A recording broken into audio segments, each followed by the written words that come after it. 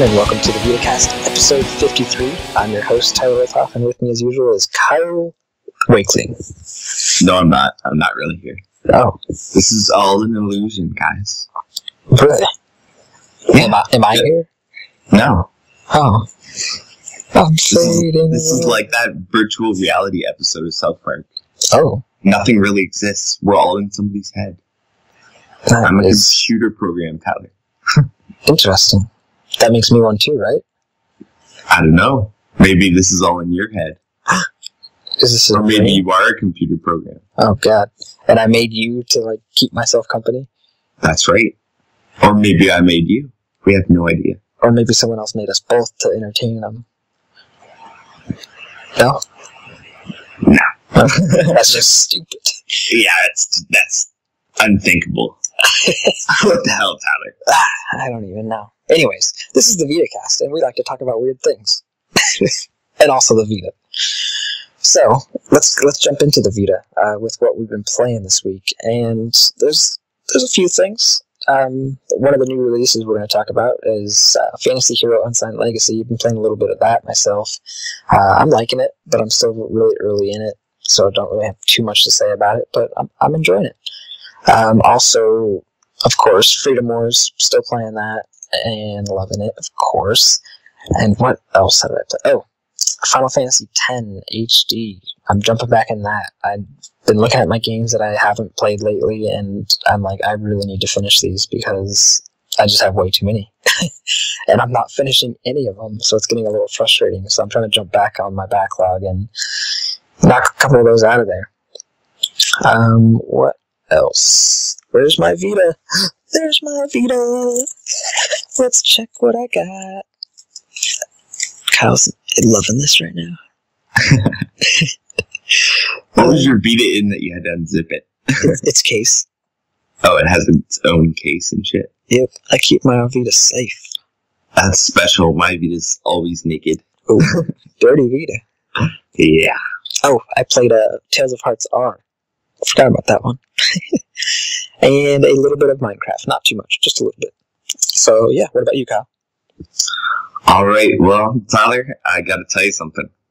And that something is that yesterday I got my 64 gigabyte. Yeah. So now I'm I'm one of the cool kids, and I have you know all this room, or had all this room, as I've pretty much filled the card already. Um, I, I pulled pretty much everything I have out of my backlog and put it onto my Vita, and I just have like pages of games that I'm like, oh man, I gotta play these. So I've been playing a lot this week. Um, I, I only jumped into like a couple of minutes of a couple games yesterday. I didn't really dig into anything, um, but I played some OlliOlli. Uh, I played some PlayStation All Stars. I played some Ridge Racer. Um, I played some.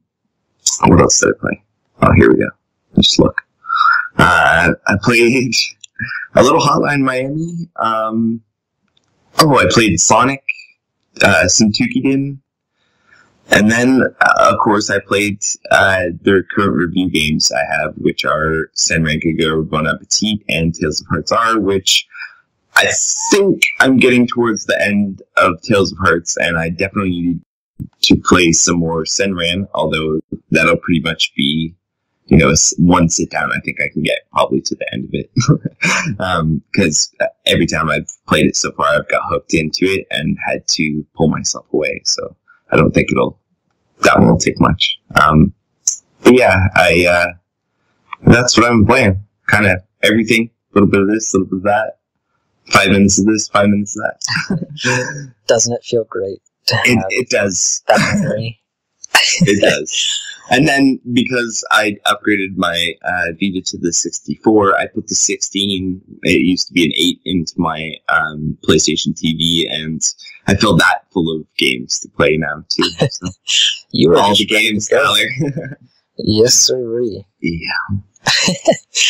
Well, yeah, that's that's awesome because you needed that for sure. Definitely. I was always, you know, waiting for something to transfer or, you know, doing something or I'd have to like we'd have to figure out the um, lounge play games like way in advance. And we couldn't like switch it up or anything. It was it was crazy. Yeah. Now I could just be like, whatever you guys want to play, I, I don't care. Whatever. Minecraft, Terraria. Stuff stuff that I have on my Vita. Oh, now you got the room. Go ahead. neither neither of those games will ever grace my Vita, and if they do, I give everybody who could ever meet me permission to smash it because that's just disgusting. No thanks. Okay. Um, I think I've told you before, but we really need to do one, just one episode of you playing Terraria in Lounge Play and just listen to you raging and hating everyone. No, it, it would not. It would not go over well, Tyler. We'd start off and you'd be like, "What do I do? I, I collect this shit. This is stupid. well, I make this. That's stupid." the thing is, um, even though I tagged Terraria, I don't know why I tagged it in uh, PlayStation Plus. I would never start it on my account because then I would be graced with the, that horrible zero percent trophy list. so that would never happen. So you'd have to buy the game for me on a separate account for me to even play it like that. So that's not going to happen, Tyler. Well, think, think about it. If you ever did play it on your main account, I could easily get you like forty percent of the trophies in one by just giving you a whole bunch of my gear and be like, "Here you go. You're set. Here's trophies. They go popping." Yeah, but I, I'm I'm one of those people that has to do everything I can in a game before I give up on it, and that would just piss me off that it was forty percent, not hundred percent, or whatever I could, you know, reasonably think I could get to. That would piss me off, and then I'd actually have to play it, and then that would really piss me off. So you could live stream it and just it'd be hilarious. yeah, live stream it. All, everything I would be like live streaming would just be like swear words and like me smashing shit and like banging on desks and throwing stuff. I, it would just be a mess, Tyler. Right. It'd be the most angry gameplay you've ever heard.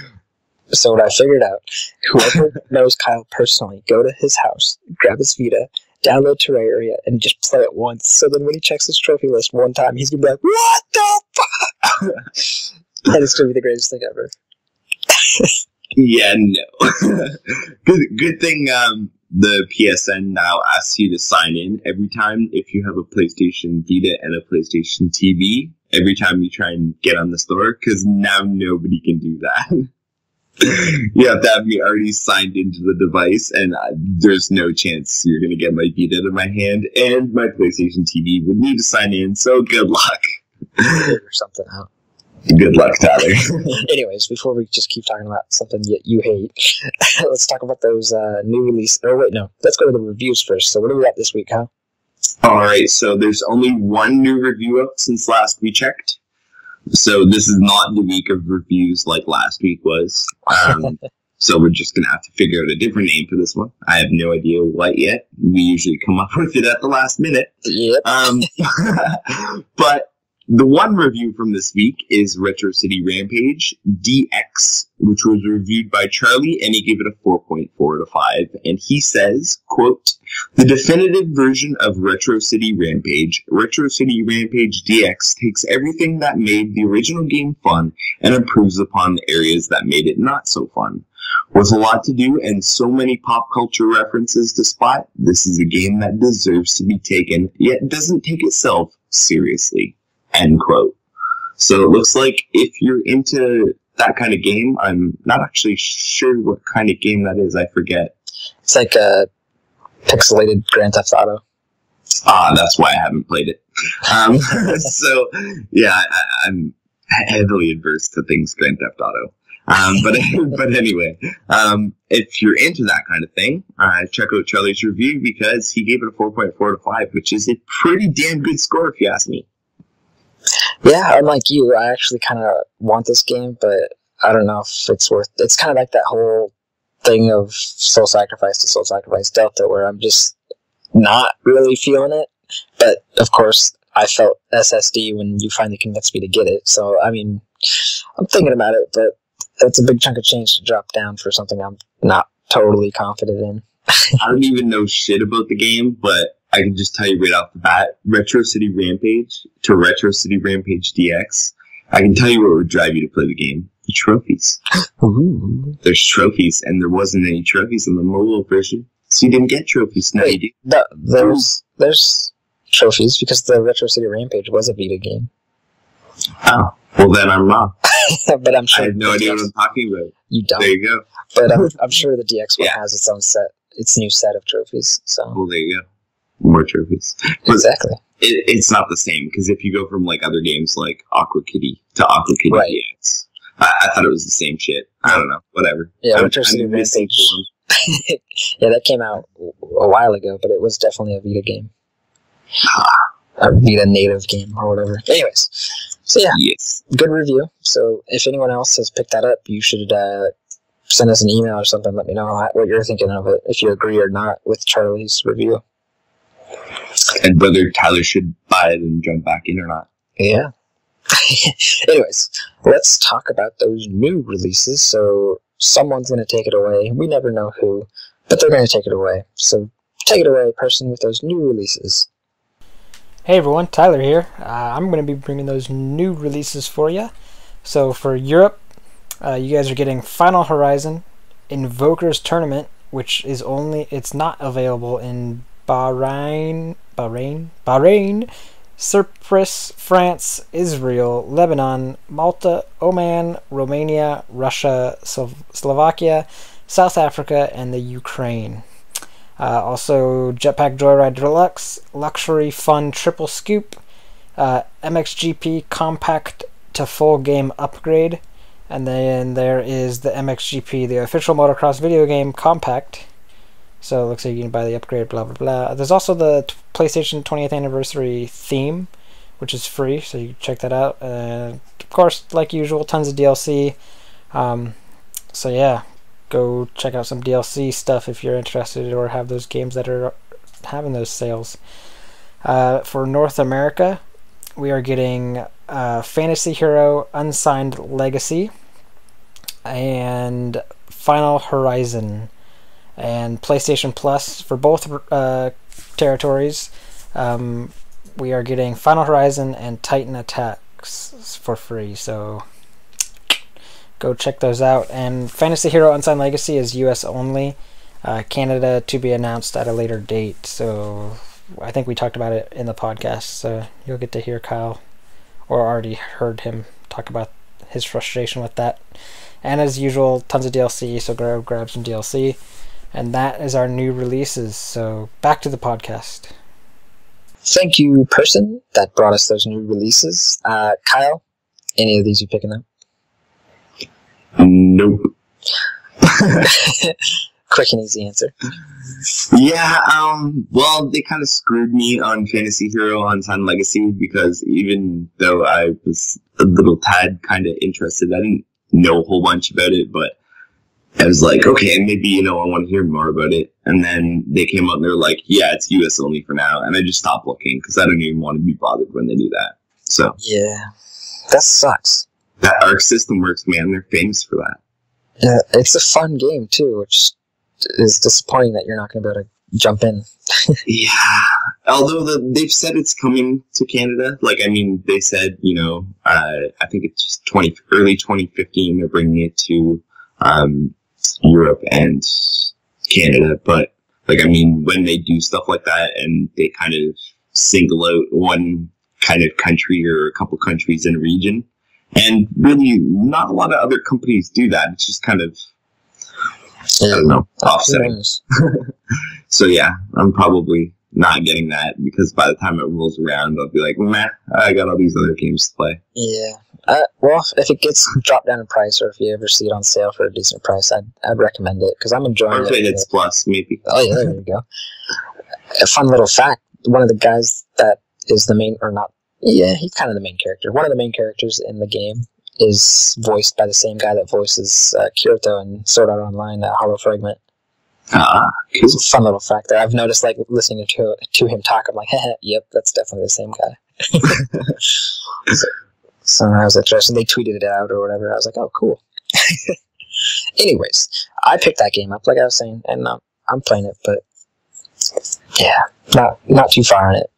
Um, although one thing that really bugs me is that a lot of the like they're not cutscenes. It's more of just like a narrative cutscene where they're just talking uh, when you're on the battlefield.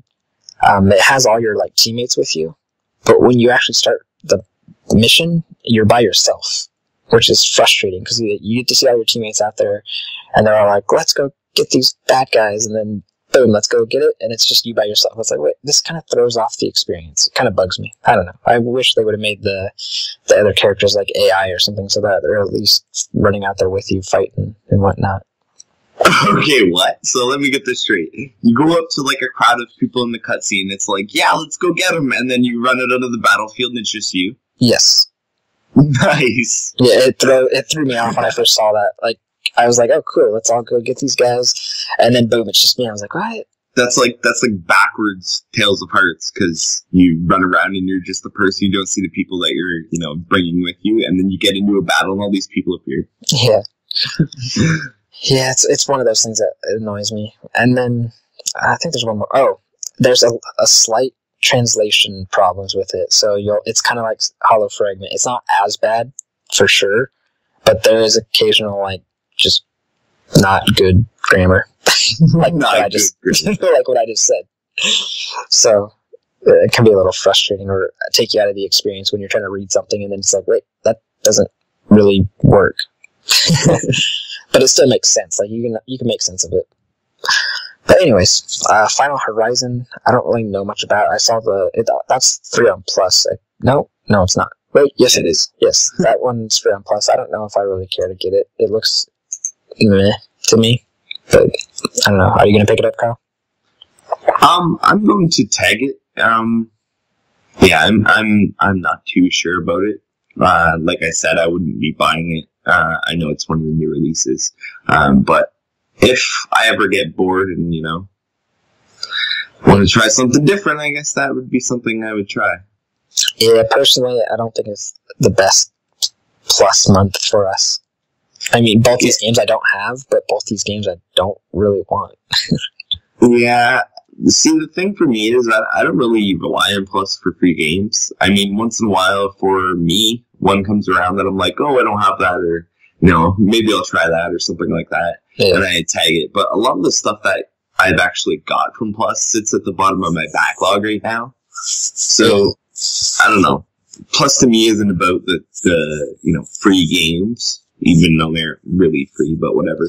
um, uh, it isn't about those. It's more about the deals. So I, I'm all about the, you know, getting the getting those low prices on the sales than I am the uh, the games. And Yeah. yeah. it's it's just been kind of a shit show here and there. Yeah. Well, maybe next month, January, my birthday month. They'll just give us something crazy. Maybe. It's the new year. They got to start it off with a bang, right? Maybe. I I don't want to be too optimistic about things like that because then uh, when they fuck us, I'll be more pissed off. yeah, that's true. Anyways, let's uh, jump into the news. We've been talking a lot about the earlier stuff in the podcast, more than I was expecting. You're really chatty tonight, Tyler. Hey, it happens. All right. The news. First up, Kaga Create seemed to be going all in with the dating sims on Vita. First, Higurashi When They Cry Sui was announced earlier this month. And now we've got Hayaka Yayoran Elixir, record of Torinia Revival. Thanks, Kyle, for this news story. Getting welcome. getting the Vita treatment from them as well. Originally developed by AXL and released mid 2013 as an 18 plus PC game, the Vita version will be a bit more tame, though they've promised to add new uh, two new heroines as well as a new opening and ending tracks to sweeten the deal. Hayaka Ryoran Elixir Record of the Taurinian Revival for PlayStation Vita will be available sometime this spring in Japan.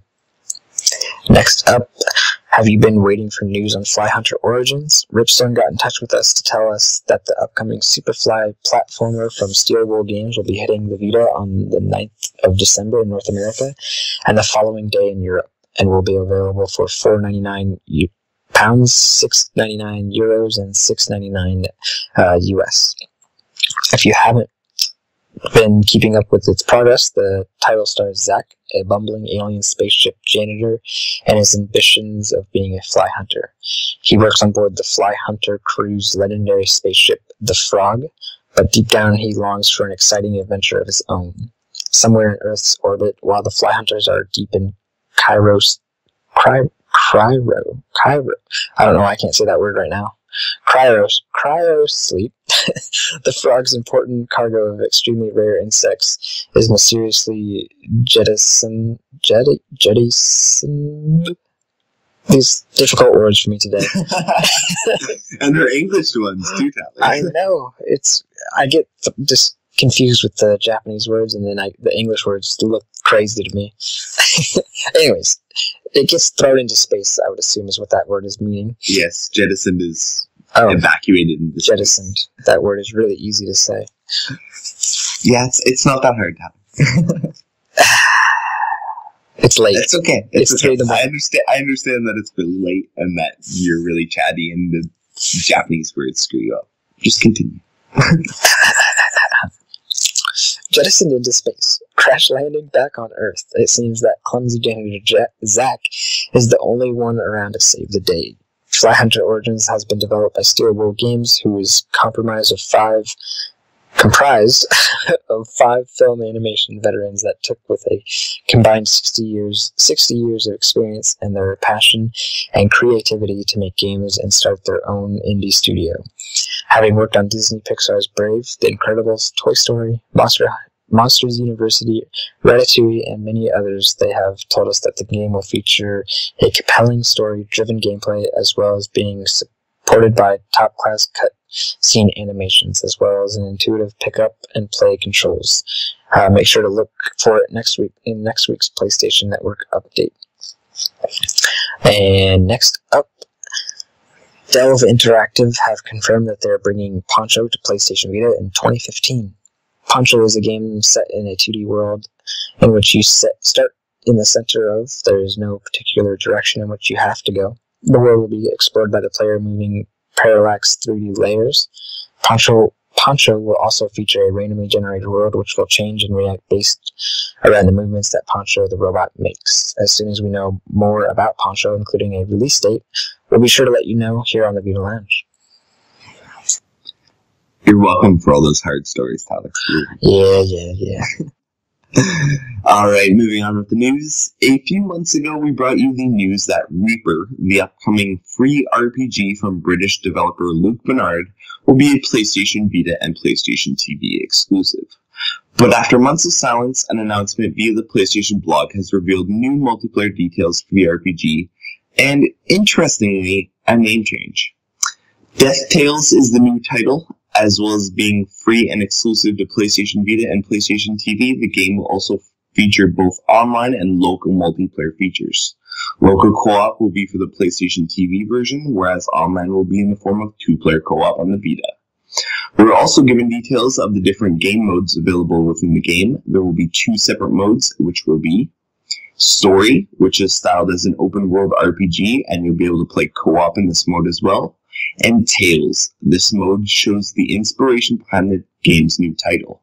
Tales mode has the player exploring a hub town and interacting with a variety of different characters. The town folk will assign you different tasks, which you can complete in co-op or alone. A nice addition is the fact that levels will be randomly generated, meaning a new and unique experience awaits each time you play. For those unfamiliar with the game's premise, you play as Death, who after a very long time of claiming souls from the evil and innocent alike, became depressed and lonely. So she decides to let her hair down and falls in love with a mortal man.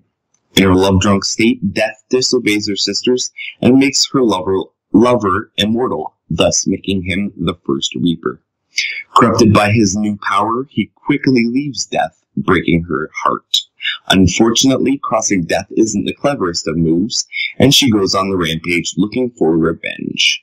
She deploys a new army of Reapers and is looking to make the world pay for her misery, and we get to come along for the ride. We still await a release date of Death Tales, but we will be sure to keep you updated. Mm-hmm. All right. Sounds like Tyler's moderately excited. Moderately. moderately. Anyway, moving on. NIS America has announced the Western release dates for its localization of Criminal Girls Invite Only. An updated version of the Japan only PSP title, Criminal Girls. Criminal Girls Invite Only includes a host of brand new content as you explore the depths of hell and lead a gang of female delinquents on a quest to absolve themselves and be reborn on Earth. Criminal Girls Invite Only's basic plot details are as follows. Quote, Seven, seven delinquents, seven sins, and only one way out. Just hired for a new mysterious job, you'll soon discover that this isn't your normal prison gig. You've been entrusted with the care of a crew of girls whose sins have been have damned their souls to hell and an eternity of punishment.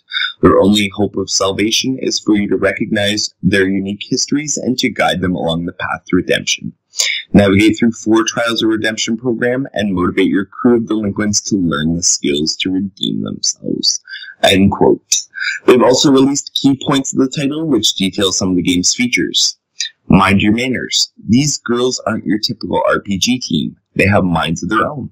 To be to defeat the convicts along the way, which are doing their time in Hell's dungeons, uh, you'll need to listen to your team's desires and choose your path to victory from the ever evolving repertoire of skills, spells, and combo attacks they want to use.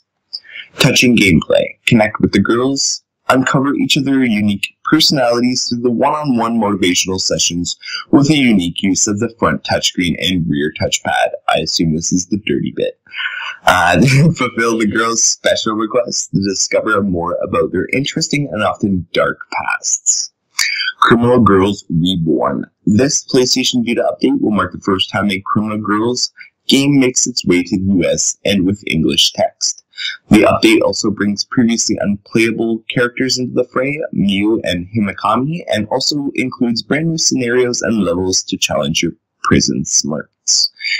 It also revamps the much lauded motivational gameplay with updated artwork, brand new live 2D graphics, and effects. The game is set to launch in North America on February 3rd and Europe on February 6th available in both physical and digital copy, as well as being fully compatible with the PlayStation TV. Aside from the standard edition, a $51.99 limited edition will be available, purchasable at NISA's online store. It will include an art book, soundtrack CD, and a special box alongside a physical copy of the game. And next up, we have Kadokawa Games is planning to release a low price version of love adventure game Photokano Kiss this February. This new version of the title, dubbed Ebicore Photokano Kiss, will reportedly cost 3,980 yen plus tax on release and feature new package art. First print copies will bundle in seven different DLC items, the list of which is available on the site. As well as the bundling of content, this new release has spurred the announcement of new content as well, as the new costume Madam An's Heartful Maid, Colorful Bikini, and Carnival Fantasy are set to be released for the title. Ebicore Photokano Kiss will be available February 2nd in Japan. Next up, uh, remember that hefty new Sen no Kiseki 2, aka Trails in the Flash 2? Uh, patch Marcus introduced us to a few weeks ago. Well, this week's Dengeki PlayStation Magazine has dropped a ton of new details on it, including the existence of a character transformation accessory and the introduction of memory mode and the easy guidance system. First up is the character transformation accessory dubbed the Mirror of Reveries. Reveries. It can be purchased at healing installations and is uh, able to be used only in the game's Corridor of Reveries. Equipping the Mirror of Reveries will allow the player to transform you into one of the following five characters, including their voices and other personal variables. Re- Rixia Mao, Lloyd Bannings, uh, Vita Claudette, Altina Orion, Crow Armbrust. Such easy names. Next is Memory Mode, a new non-gameplay option which unlocks after completing the game. Upon activation, players can view cinematics and bonding events they've encountered at least once in their playthrough. giving them a second look at some of the game's pivotal scenes. Last up is the easy guidance system, which will also be available upon completing the game once. It will be used in New Game Plus mode. It allows players to have character levels raised during guidance slash side story segments, and to only view event scenes during them. The patch will release, was released across all Asian regions as of November 28th, so get, go give the game an update if you haven't already. Uh, next up, Dengeki PlayStation Magazine and Dengeki Online have posted new details for the upcoming sequel to Hollow Fragment, confirming the presence of Philia and Klein in this new title. Philia originally made her debut in Hollow Fragment, having not been present in any sort of online media before that. Returning in Lost Song, she goes from blonde to raven haired as she moves to the Alfheim online in game race of Spriggan. It has also been revealed that she'll be sporting an all purpose build skilled with both the dagger and support magic, and that she chooses to work as a treasure hunter in game. As for Klein, his character is part of an Alfheim online in game race called the Salamanders, and he's still mainly a swordsman above all else. Sword Art Online Lost Song is due for release in Japan on March 26th with no word yet on a Western localization. Time to change that. and lastly, here for me is a long one, so sit back and enjoy. Uh, over the past few months, we have brought you a whole host of updates and images for the upcoming Digimon PS Vita title Cyber Sleuth. Now we have even more details this time regarding a new character and how to digivolve. So let's start with the new character who is known as Rai Kishbi. Kishbi. she is the operating officer at Kameshiro Enterprise, which oversees the Eden project. Though on the outside she seems considerate of everyone around her and acts mellow. Deep down she is always confident in her own decision making and will never consider an alternative opinion uh, once she has already decided how to approach a given situation. Basically, it's her way or the highway. There's also a new Digimon known as Crusadermon, a Holy Knight type Digimon and Royal Knights member who is king of all Knightmon. Its goal is unknown, but it's deeply involved in events that are happening in the real world. And if you hear dogs going crazy, it's because someone downstairs is moving around, so they might start barking. it is not labeled as either good or evil, as it has its own opinion on how to achieve justice. But it is important to note that it is, has no mercy for the weak, and it is ruthless in the way it executes its missions. It seems it is up to it is up to us to decide whether its methods are just. Next, we learn a little more about how you will scan, collect, and convert your Digimon. Your handy Digimon scanner will begin scanning and collecting data on the Digimon you find out in the field as soon as you discover them. If you gather 100% of the data, it is possible to convert the data into the Digilab and watch it grow from Digi-Egg to Digimon. The higher the per- percentage you obtain, the better the converted Digimon's base abilities. And finally, we learn about Digivolution and Rare Digivolution. As you win battles, your Digimon skill points and levels will increase. Of course, this will enable you to digivolve them into new Digimon of your choosing. However, each Digivolution requires certain conditions, which vary from Digimon to Digimon. But if you are impatient and want stronger Digimon quicker, there are other rare Digivolution methods. You can cause Digivolution and then de-Digivolution of a Digimon to break through level caps, as well as training up uh, latent skill points. Some Digivolutions require certain items. Digimon Story Cyber Sleuth is set to release in Japan during spring 2015, as Bandai Namco seems to love teasing us. TVL will be on hand as soon as the, any further details are announced. So you can see Digivolution fine, but when it comes to Jettison, you're completely boned. uh, actually, the fifth. All right, moving on with the news then. The Binding of Isaac Rebirth is set to get a whole lot bigger as game creator Edmund McMillen has announced plans to add to the game's content with a new expansion. McMillen, who originally released the game on Steam for PCs back in 2011, said, quote, I have big plans for this expansion. I hope to add a very huge chunk of gameplay in the form of a new game mode that will almost double the amount of things you can do. End quote. The Binding of Isaac Rebirth was offered in last month's PlayStation Plus list, so I imagine a lot of you are looking forward to this one. As such, the Vita Lounge will be sure to keep an ear to the ground, but for now, all we've heard regarding a date is the quite vague window of 2015. Next up, La Mulana EX has received a Japanese release date.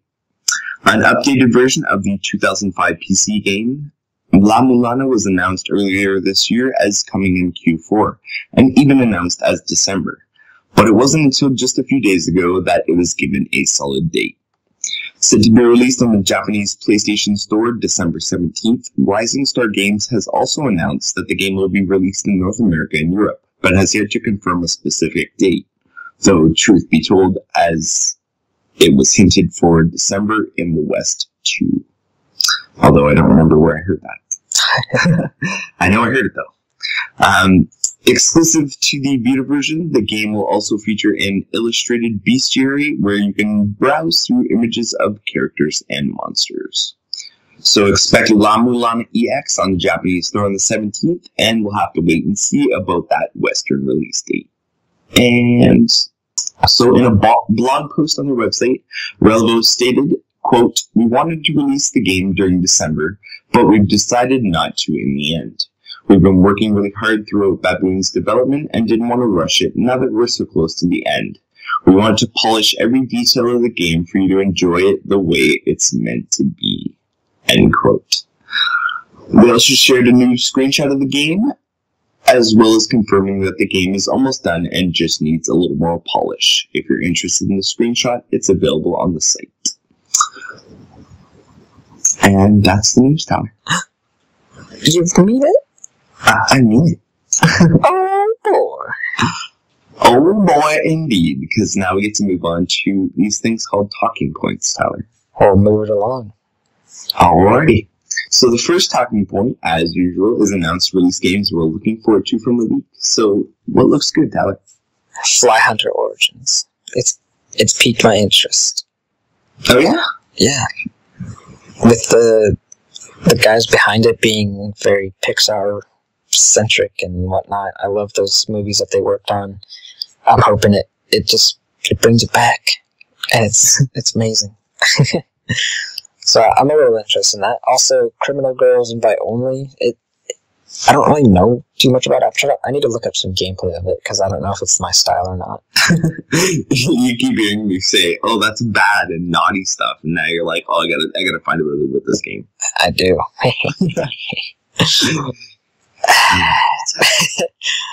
um, what else? What else? Of course, Sword Art Online Lost Song getting some more information about that. It's always nice to see that. Um, now just need to announce it over here, and uh, I'm seeing with them announcing another game, they needed to announce Digimon Story Cyber Sleuth over here because I want that as well. And uh, what you just ended with, uh, Baboon, sounds really interesting, and I would love to give that game a go. How about you, Kyle? Alrighty, well, um, I'm not super interested in fly hunters, although it has kind of piqued my interest enough to kind of wait and see, I guess. Um, also, um, the uh, Sword Art Online Lost Song that's that kind of goes without saying, uh, but I'll say it anyway. Um, I would love for a Digimon story uh, localization, even though I did not like Digimon way back in the day. Um, the game looks really good and I would play that. So bring it on. and of course, Baboon. Um, the the release date that they've said that they're moving is actually the European release date. A North American release date hasn't been given or windowed yet, so we don't really know when it's coming. Although they have said that it is going to come, so we we kind of have to wait and see for that one. But I am interested, and I like the uh, screenshot that they provided on the site um, has an anime girl in it. So I was like, yeah. and I think one of the commenters, I think it was Lester, uh, was like, yeah. So yeah, shout out to Lester who never sends us mail anymore. Lester. Yeah. All right, so that's that's pretty much all I'm looking forward to as far as stuff we've talked about this week. Yeah. All right, cool. Um, there's a vehicle outside, that is probably going to shut the garage door. So you might hear gar- garage door all of a sudden. So just be prepared, people. That's okay. I also heard your cell phone vibrate and a couple other things. I, I can hear a lot now, Tyler. You can hear Your mic is, is very clear. I gotta be very careful. We'll be able to hear like your heart beating soon. just wait. That would be creepy. it would be very creepy. I wonder if I put it like on my chest if you actually really could hear it. I have no idea. You want to test it? Do it. All right. Oh, there goes the garage. God damn it. Let's wait for the garage to go. This is real life, people. This is live. Actually, not for you. It's live for us. and we're waiting. what are you like right beside the garage, Tyler? The garage is right under me. Oh, it's under you. Yeah, I'm on the second story. Ah, I see. All right, here we go. Heartbeat time.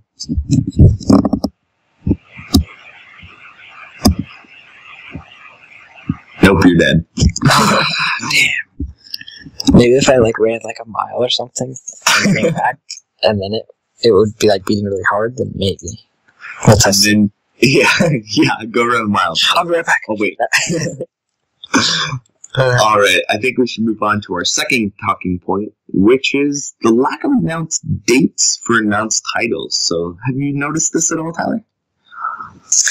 yeah, it's it's a little frustrating. I've noticed a lot of games we're wondering when we're gonna actually be able to get these things, but yeah, I I don't really understand why it's happening.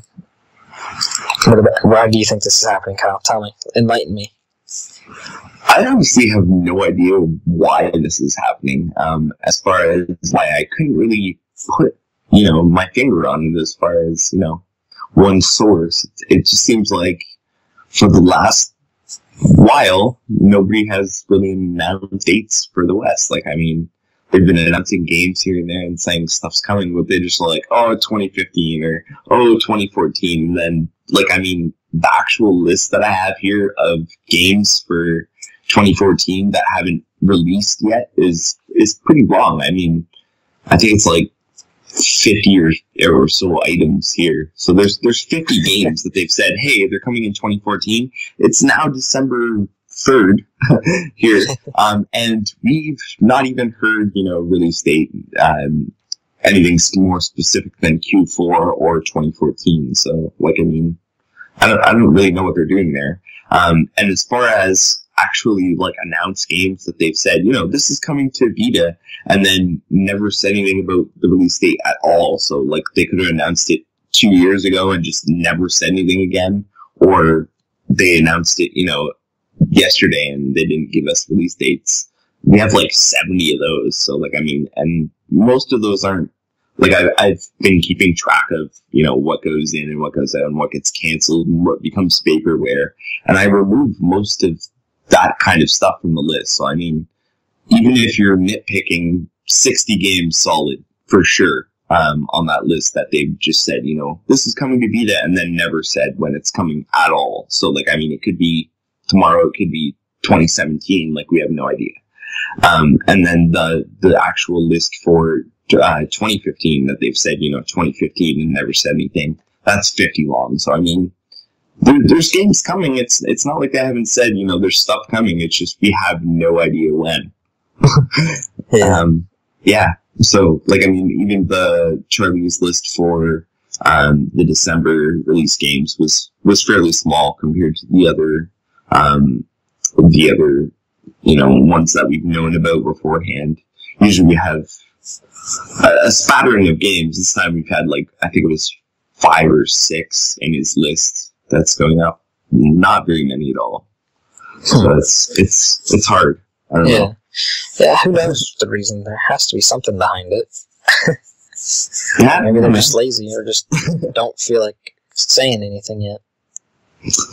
Yeah, it just could be that there's there's so much stuff, and and when they started, it just kind of works out that you know they can't really give us anything specific right now. But I mean, even if you say you know Q one or something like it gives people kind of an idea when this when this kind of stuff is spacing out instead of oh this may come you know tomorrow or may come a year from now. Do I start saving now? Do I you know not worry about it? Like what do I?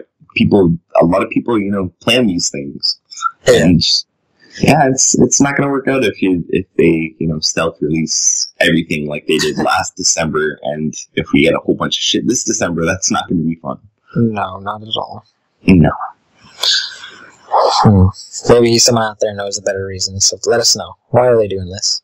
And if you're listening and you have games that you know are coming out or whatever, you know, get in touch with us. We'd like to know some even windows. We we'd love to you know update our our listeners and the people on the lounge um, that you know you're still thinking of releasing and that it's coming and that you you have like a time frame in mind instead of just whenever we get to it. All right, I think we should head on to the last bit, or one of the bits here. One of the last bits. Listener mail. All right, so listener mail, but not only have, do we have the listener mail that we got from Gasper this week, and I will attempt to pronounce his name right in a minute, but we'll get to that. Um, um, but we also have quite a few responses from Twitter. I just sent out a blast um, read it before we started the podcast, any last minute stuff, and we got quite a few responses. So there's a little bit to talk about, so let's get to it. Uh, first up, let's do this one from Gasper, and I'll read it before I attempt the name. Uh, to answer your question on what I'm getting, or what rather what I got on Black Friday, this is what we were talking about last podcast. We said, why don't you give us, you know, what you're getting? Um, nothing, because I'm getting paid on the fifth. So he hasn't even got paid yet. He's screwed. He doesn't get anything right now. Um, but when I do, I'm planning on importing a 64 gigabyte Vita card thumbs up to that. I just got mine. Oh, Because yeah. 32 gigabytes isn't really compatible with PlayStation Plus anymore, and Solaris Japan has this one gigabyte costs one buck deal right now, so why not? He says also you need to work on your, and then it's an S with like a V symbol thing above it. And he says, just saying, sincerely Gasper. And in the name of, you know, getting to know my listener, I looked up what the hell that symbol is, and apparently, I hope I'm saying this right, but his name is Gasper, and it's a it's a sh sound. So I think so. Correct me if I'm wrong, Gasper, um, but I think that's more correct how to say your name um, because it's probably not 100% as I don't have your accent. Um, but yeah, so there we go. Interesting. Yeah, Yeah. That's, that's a weird way to say it, but when I first saw the, the little above the, the S, I was like, yeah, we're going to say this wrong. yeah, generally, um, unless it's you know uh, French or a Japanese, um, you know, symbol, I have no idea what the hell those symbols mean. So I'm going to pronounce all of them wrong. that's that's one thing that I'm not very knowledgeable about. yeah. All right. So moving on, our next one up, uh, we have this one is from Extema. So Extema at XTEMMA on Twitter. And he says, don't you wish a PlayStation 20th anniversary Vita edition? So I don't know if you guys know, it depends on whether you've looked at news between when we're recording this, because it just happened, um, and when this comes out. Um, but they just announced a 20th anniversary PlayStation 4 um, that's colored like the original PlayStation, that gray color. Um, and it's limited edition. It comes in, I think they said 12,300 uh, numbered units, and that's worldwide, and that's all they're giving. Um, so it's like a super limited edition. And as for whether or not I wish there was a 20th anniversary Vita edition, yes, but no, because I know it would be a PS Vita 2000, and I don't want one. Um, about you, Tyler? yes, I would want one, and I would probably buy it. Because if they did the limited release just like the PS4, I mean, it, it would sell out. and I'm surprised they don't. Because, I mean, it, it's. Nah. Actually, I'm not surprised. It's Sony, or it's PlayStation. This is what they do. They don't care about the Vita. But yes, I, I would get it. Even if it was a 2000, I'd buy it.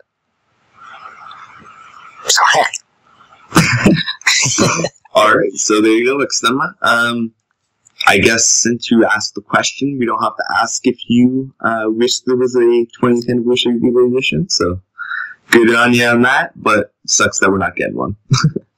Even though it's would be a shitty 2000, I don't want that. no offense to anybody who loves your 2000 because at least you have a Vita, right? Right? It's Right. true. There you go.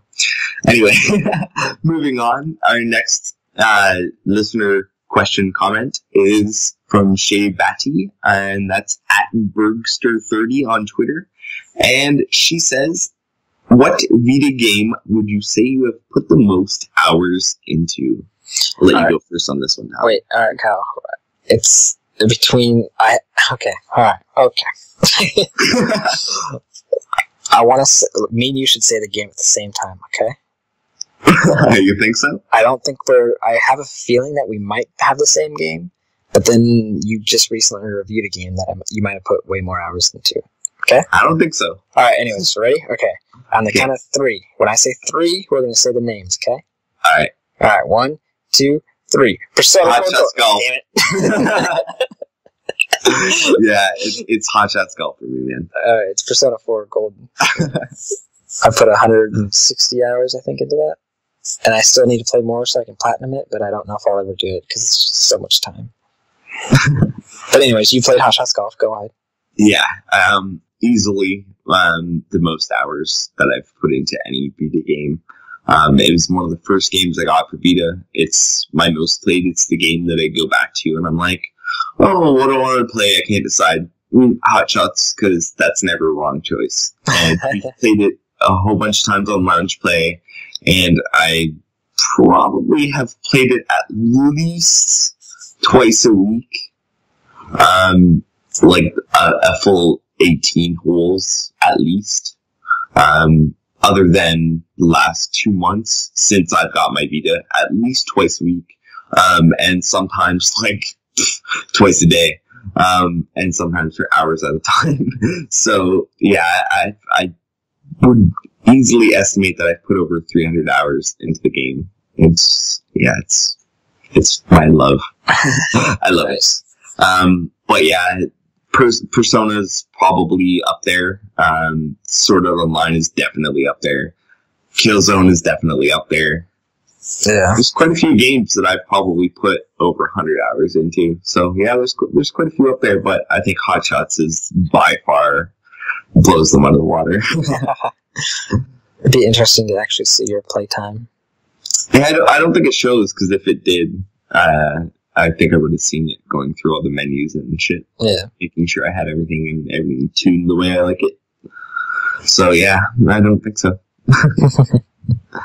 uh, so yeah, that's what we have. What about you? Uh, as we always try and get, you know, the answers from the, the commenters, but you didn't give yours, so now you're gonna have to get in the next podcast like, you know, so many other people have done. But moving on to our next question, uh, PS Vita Collector at Vita Collector says, "What do you think about collecting different Vita limited, limited or color variation consoles?" So, what do you think, Todd? what do I think of collecting just different types of Vita consoles or just consoles in general? I think they're talking about like, uh, you know, getting like a Vita and then getting like a different color and like a limited edition, like all, you know, like Oh, you okay, okay. Vitas and stuff. Yeah, Yeah, I like yeah. that. I see nothing wrong with it. I mean, if you enjoy having unique models that you know might not be seen every day out there in the wild, and it's something you enjoy to do, it's it's, it's whatever. I mean, the reason why I had three at one time. I mean, I only have how many do I have right now? I got my Capture Vita, which I got because I wanted to do YouTube videos and record it directly. So I mean, that's kind of justifiable. Uh, and then my original, which I bought day one, um, I didn't want to get rid of it because it, it meant something to me. It was my first Vita, whatnot. Um, and then I bought one for my girlfriend. So that that's hers. But if she ever breaks up with me, it's back to being mine. um, but yeah, I mean, there's a lot of Vitas that I really want. Like there's uh, a couple of the ones that are in Japan that I would be like, yes, if I had the money, those would be mine. But I don't really have the money, so I mean, if you have the money, go for it. It's something you enjoy. Why not? you're supporting Sony, unlike they support themselves. What about you, Kyle? I have no problem with somebody collecting, you know, consoles or especially Vita because the more people buy a Vita, that's that's good. Even if those numbers go up because you're buying five Vitas, that's cool with me. because we need to get kind of the word out there that people love their Vitas. Um, but yeah, I, don't have any extra Vitas myself, so personally, I don't collect them. Although I have to say that I would get another Vita for um, other region accounts. Um, I got a PlayStation TV, and I was originally gonna mostly use that for other region accounts. I was gonna put my Japanese one on there and kind of maybe go to the European one or whatever when I kind of felt like it. Um, but I, I kind of play it too much with the North American account, so that's not going to work. So I would need another PlayStation TV or another Vita um, to set that up, which I would like to do, but I don't have the money, and I don't really want to buy a 2000. So yeah. if if I got you know a limited or something like that, I would I would have to go for an OLED model, try and find one of those somewhere. And uh, as for the limited editions, I'm not too fond of the the older um, style ones for the the OLED. So unless they you know put one of those sweet ass Toro um, engravings or the you know a 20th anniversary Vita with an OLED out, I highly doubt I'm going to be getting any extra Vitas, and especially since I don't have the money. yeah, it's not cheap. No, it is not. Vitas are expensive to collect. Let's yeah. put it that way. They're not. It's not so much expensive to have one Vita, but I think you know once you get into having three Vitas, like some people, then it gets a little hey. expensive. Yeah. Especially when one's a capture Vita that costs a whole lot. Oh yeah, okay, that makes sense. yeah, the capture Vita is ridiculously expensive, but it's been worth it so far. Yeah, I would totally mug you for it if I if I saw you on the street. well, thanks, Kyle. You're welcome, Tyler. All right, so yeah, I think moving on to the next comment question. Uh, this one's from Mage of Revenants, and that's at Mage underscore Revenants on Twitter. And he says, I think that's E. Yes, I believe it's E. Um, are any of you exclusive to the Vita? Either way, what are your preferences? Um, I mainly play the Vita, but occasionally I play my PS4 and back in the day, I used to play the Xbox a lot, but now I don't have an Xbox. And I do have a 3DS, but I tweeted a little bit ago, I think a couple days ago, that I have like I just turned my 3DS on. It's been dead for like months. I just don't care to play anything on it. There's nothing that interests me. And the one game that did interest me, I found out it's a game I can't stand the style of how it plays. So I'm like, nope, never mind. Um, and that was that Persona Q game. I can't stand first person dungeon crawler or dungeon RPGs or whatever. Anyways, um, so yeah, uh, what do I play mainly? Everything I can. I've got too many games. Lately, well, we've already talked about it in the beginning of the podcast, but what I've been playing, I've been playing a lot lately and whatnot. So, just refer back to what I said earlier. what about you, Kyle? Well, I'm not exclusive to the Vita. I have the whole current PlayStation family, I guess you'd call it. Um, I've got a PlayStation Vita, I've got a PlayStation TV, I've got a PlayStation 3, and a PlayStation 4. And I kind of just float around. I mean, I, I, I, prefer the Vita, I believe. Um, that's what I play the most on, um, even though I have games on other systems that I probably should play. Um, but um, it, it's just kind of what what draws me the easiest. It's what I kind of pick up the easiest because I'm a multitasking kind of person. I don't generally sit in one spot. So unless I'm remote playing something, um, I, am generally playing Vita. Um, although I do do dabbling uh, some PlayStation 4, usually at least once a week. Although I've been ignoring it the last month with all these crazy reviews and such. um, so yeah, um, my PlayStation 3 is actually kind of neglected other than as a media center. So I've been using it to like stream stuff for my media server. Um, but yeah, I've, I've pretty much played all but like six games that I want to play that are out on PlayStation 3.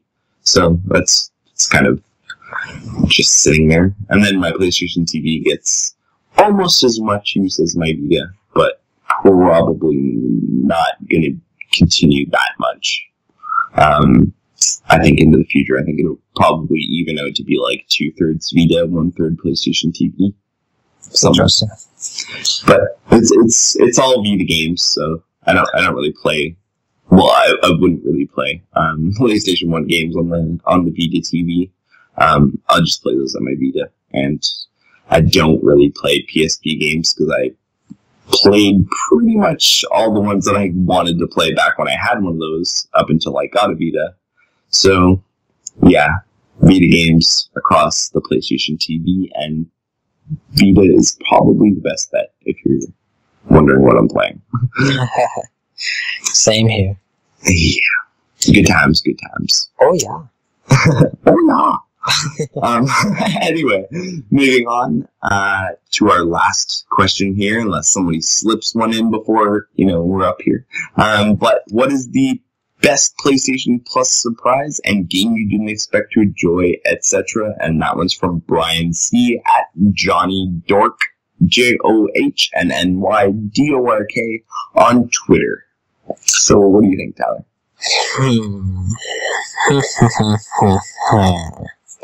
I'm trying to think because that's that's two questions, right? Which what game were you was I surprised to see was on Plus, and then which one was I surprised to have be fun, or is it the same? I'm confused. I, I think I think he's I, I could be wrong, but I think he's saying your best PlayStation Plus surprise, and then like a game that you didn't expect to enjoy It doesn't have to be from Plus, but just okay. Alright, so the PlayStation Plus surprise. Um, I don't really know if I've had one really, personally, but I, I'm glad that I was able to get uh, uh, Uncharted Golden Abyss because I actually never bought that game. Um, I've never played an Uncharted game, so you can all hate me right now. on the PS3s, I've never played any of them. Um, but yeah, I saw it on the Vita. I was like, the game looks really badass. The graphics look amazing. Maybe I'll get it someday. And then when it came to Plus, I was like, so free game. Bought it or downloaded it and beat the crap out of the game. um, and then one game I didn't think to be good, but was I guess I would say Rainbow Moon. That game was actually also on Plus, but I really wanted it because it looked somewhat interesting. But then it's the style of game I really don't like, so I was really confused as why I wanted it. And I was like, you know what? I probably won't like it, so just ignore it. Then it came out on Plus. I played it, and I was like, wow, I actually really like this game, and I was surprised by that. what about you, Kyle? Alright, well, I only got Plus, I think it was August or September of last year, even though I had my Vita since December 2012. Um, so I might have missed some in there that I would have said, you know, hey, that's awesome or whatever. Uh, but uh, I think I think mine was was probably Gravity Rush. Um, as I said before, um, I played the demo and I was completely uninterested. I was just like, meh. And then uh, I, I did downloaded it from Plus when I got Plus, and I was like, well, I'll try it. You know, whatever, something to do. And I started up and I just played like crazy and I got all the DLC and I platinumed in 100% of the bastard. So that was, that was quite a ride and I'm eagerly hoping that they bring Gravity Rush 2 or whatever they end up calling it to Vita. Um, and it, that they do it soon. Because I was really looking forward to that when they teased that. So yeah, Gravity Rush. Um, but I want to give a honorable mention, I guess, to Sonic and All Stars Racing Transformed. Um, I probably wouldn't have bought that on my own, so that was actually kind of a surprise, I guess. Um, uh, so that kind of fits with the second one too. Although I don't think that's what I'll call for my surprise. Um, but Sonic and All Stars Racing Transformed. Um, we played it quite a few times on Lounge Play. I've gone into it by myself. I still haven't completed it, but I've I've gotten pretty far, and I I'm really enjoying it. So that's one of the ones that I'll be going back to now that I have my 64 gigabyte to to finish off because that was a good one. Yeah. yeah. Other than that, though, I haven't really downloaded a whole lot off Plus. Like I've tagged a bunch of stuff, but I haven't really, you know, played or or downloaded it. It's kind of the stuff at the back of my backlog. So Very nice. All right, so Yeah, that's that's- all. Well, I, I, I guess I could say my surprise too. I don't know. Go for it. Um, so my biggest surprise, kind of, and I guess technically it's not a surprise because so many people would call this their biggest surprise, but Persona 4. Um, Oh. so yeah, I, I didn't, I, like, looking at it from the outside, I was like, I don't see what's so good about that. Like, whatever. But then so many people recommended it and stuff, and I I really hadn't been in RPGs. I was like, whatever, I'll try it, and I tried it, and damn, damn. So that that spurred my love for RPGs, and now I am RPG man. yeah. Other than the cheesy ones and really kind of awkward stuff that I don't want to get into, um, I'm now into RPGs, all thanks to that game, and that is so far um, my favorite RPG that I've played. So Yeah. Persona 4. Although it's not really a surprise because everyone says it's great.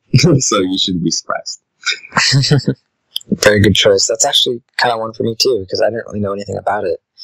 Jumped in and loved it. So, yeah. And there you go. All right. So that's our all our questions this week. Ah, yes, I think so. Nobody's. Yep, nobody slipped one minute at the end there, so we're all good. All right. Let's end the, or go to check this out, which is with me, and I think I've done this game before, but it's on sale right now, and it kind of makes me laugh. Both. So there's two versions of the game. There's the original, and then there's the complete edition that comes with all the DLC. The complete edition is literally, literally 50 cents more. So you need to get, no, no, I lied. It's, it's 49 cents cheaper than just getting the regular version of it. So people are getting gypped by buying the regular version and not buying the complete edition. Just saying. That's pretty whack, Tyler. Yeah, but anyways, you should pick it up because it's a fun game, and it is Castle Storm. We had uh, Bobby from Zen Studios in a way old episode of the VitaCast talking about this game, and that was a fun episode. But the game is really good, so it's on sale for the regular edition is four ninety nine with plus, and then the complete edition, which comes with the game and three DLC packs, is four fifty. So definitely buy the complete edition. There's no reason not to buy the complete edition. So, so yeah, that's my check this out. But? I'm going to jump in here What? because I know it's not my week, but I have to say, go buy Sword Art Online because if you don't have it, it's twenty three ninety nine right now. I think on Plus. Correct. It's twenty seven ninety nine regular sale. So if you don't have Plus and you want a sale, it's still on sale and it's quite a bit cheaper. So like I mean, if you've been hesitating, this game has well over hundred hours of content. It's an awesome RPG. Um, it has so many different kind of routes you can take in, in upgrading your character and building their skills and getting their, their whole setup. It's just a really good game. Um, the only thing I kind of can complain about is the translation, and um, which it's it's you can figure what they're saying all the time, like ninety nine point nine nine nine nine percent of the time. Um, there's stuff kind of going on with the grammar and, and the translation as far as um, I, I, I think it's it's mostly word order, so you, you kind of screws you up when you're reading the stuff. But if you go back and actually look at it, you can figure out what's going on sometimes. Um, but it doesn't even get that bad um, that often. Like I mean, it's one here, one there. Um, but it does kind of distract. So I just wanted to warn about that. um, as well as the story being a bit light. I guess we'd call it in the middle. Um, the start of the game and the end of the game, the story is really strong, but the middle is kind of a fan surfacey mess. Let's call it. Um, so if you're looking for great gameplay, which like 90% of the game, I guess 95% of the game is gameplay, um, not, you know, these text things that you can pretty much ignore if you don't really care about that. Um, so you can just skip through them or whatever. Um, but the, the actual gameplay and, you know, progression and, and the different stuff you can do in the Aincrad area and the Hollow area. Um, it's just, it, it's a lot of content, a great game, tons of stuff to do, tons of way to upgrade your character, tons of different guys to fight, tons of different levels to fight up to. I mean, it's just, it's lots to do and it's cheap and there's no reason you should buy it unless you're one of those people who are physical only and then import it from Asia because there's a physical Asian edition that's in English that's pretty close to the translation and same shit. Oh, right. But get the game. Wait, but you probably shouldn't do that because then you can't download the update. That adds a ton of crap. Unless you load it on the Asian account. It depends kind of how you. Yeah, I guess depends on how you set it up. I don't know. Just buy it. It's on sale.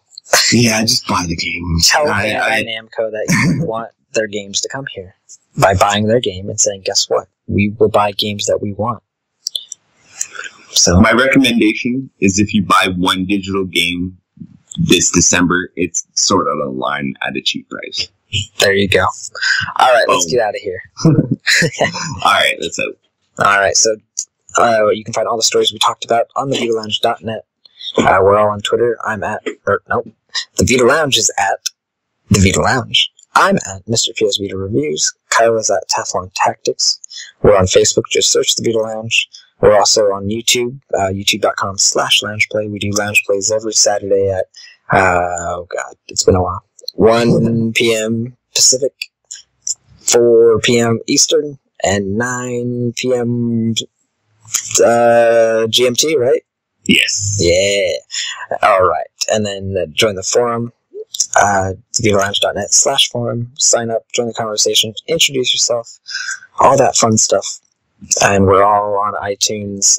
Uh, just look us up and rate us. Let us know how we're doing.